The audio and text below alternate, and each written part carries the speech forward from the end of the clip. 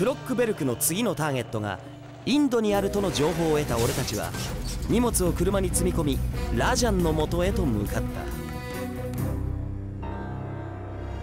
小さい時はカルカッタで路上生活をしそこからのし上がった男。彼の犯罪歴は違法な気持ちよくなるスパイスを売っていた頃に遡る。手を広げていった彼はやがて裏の世界で一流のクローギャングの一員となりそれ以降ラジャンと名乗るようになった。自分の所有する城で開く豪華なダンスパーティー。開く理由は主に手に入れたばかりのクロックベルクウィングを見せびらかしたいだけなんだが。しかし同時にそれは俺の敵ということでもある。もしウィングのシルエットが闇夜に浮かぶのを見たらその時はもう手遅れだ。ラジャンは多分ウィングを飾れば名声が手に入ると思ったのだろうがだがそれは俺を呼び寄せる合図でもあるんだぜ。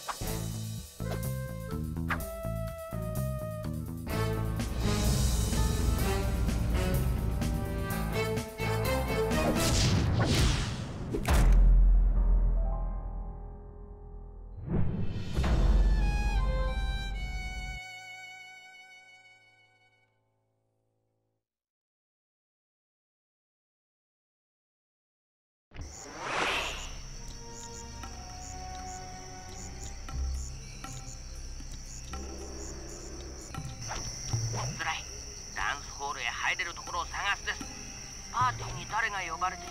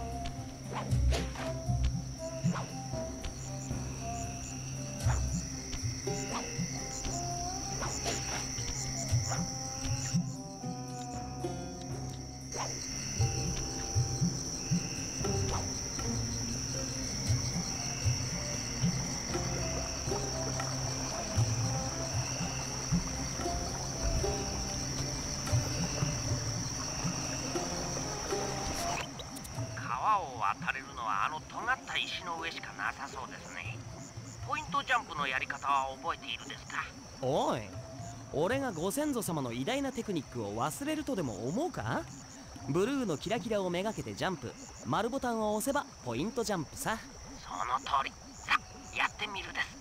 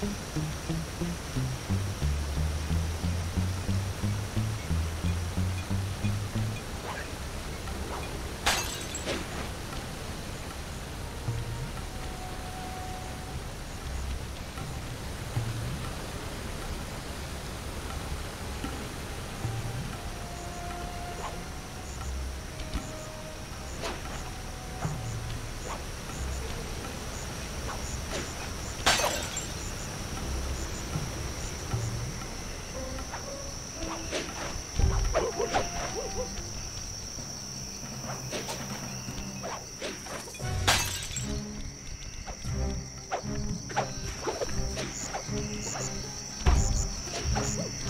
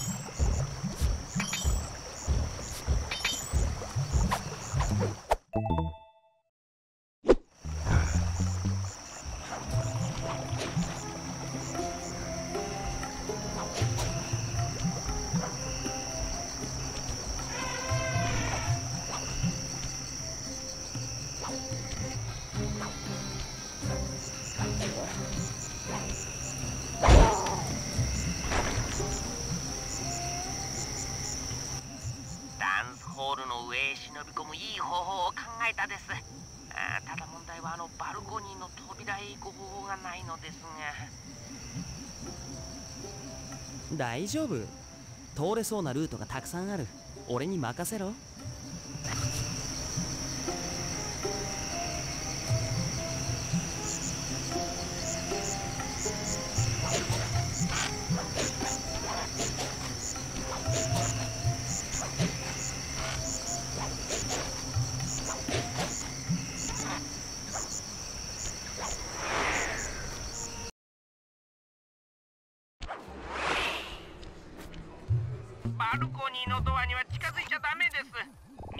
ないように気をつけてください。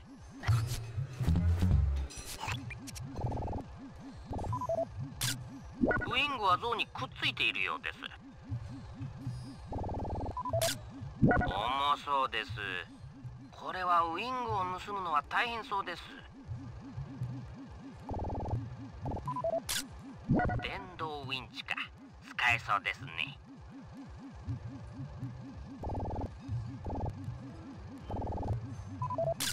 あれがやつです。ラジャンのやつ。招待客を感心させるために随分気張ったようですね。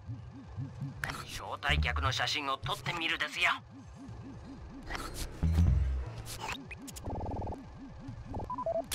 クローギャングのメンバーでアルペジオ。外来技術を得意としています。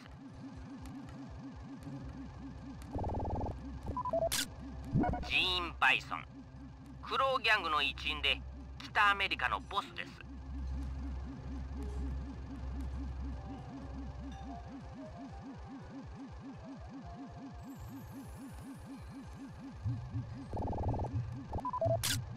あれがコンテッサです。インターポールでも地位の高い牢獄長です。多分ここでは内密にラジャンのスパイス取引を調査しているのでしょう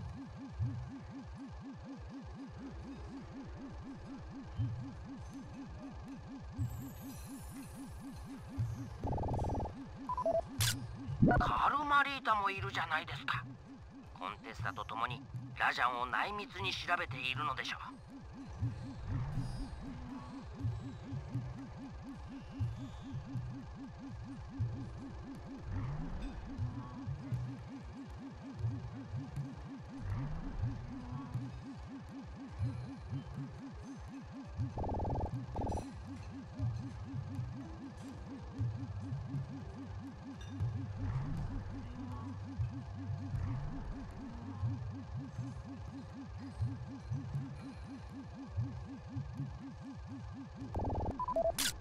ナイラ彼女も私服警官です。気をつけてくださいよスライ。このパーティーは警官でいっぱいです。それで必要な写真は全部です。アジトに持って帰ってください。ミッションを練りましょう。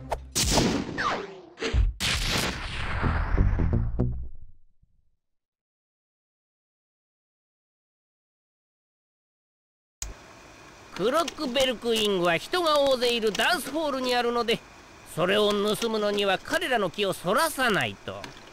それに厄介なことに私服警官がいるのです。彼らを上手に使えればいいのですが。まあどういうミッションで行くにしろ早かれ遅かれラジャンのセキュリティヘリと会うことになりますね。まマーレーなら現地にある武器で対応できるでしょうが。